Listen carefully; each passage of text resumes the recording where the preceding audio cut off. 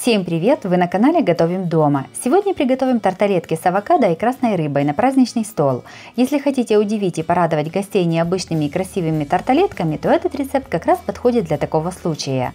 Подписывайтесь на мой канал и узнавайте еще больше вкусных и простых рецептов.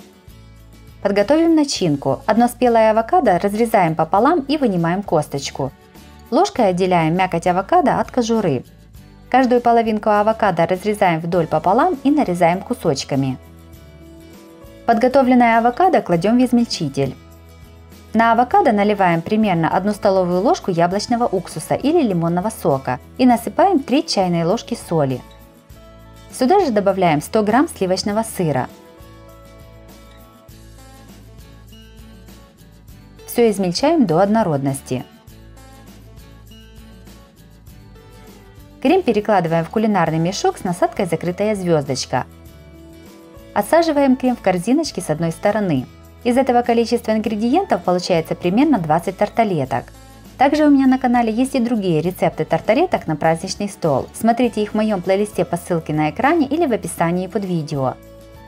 Берем примерно 100 грамм красной соленой рыбы и нарезаем ее пластинками.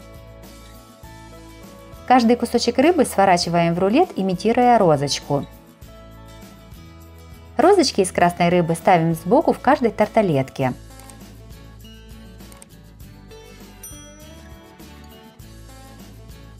Огурец нарезаем кружочками.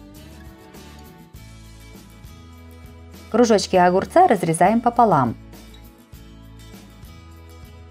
В каждую тарталетку сбоку вставляем по одному кусочку огурца и листик петрушки.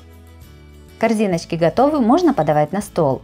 Тарталетки с авокадо и красной рыбой получились красивыми и очень вкусными. В них гармонично сочетается нежный вкус авокадо, сливочного сыра и слабосоленой красной рыбы.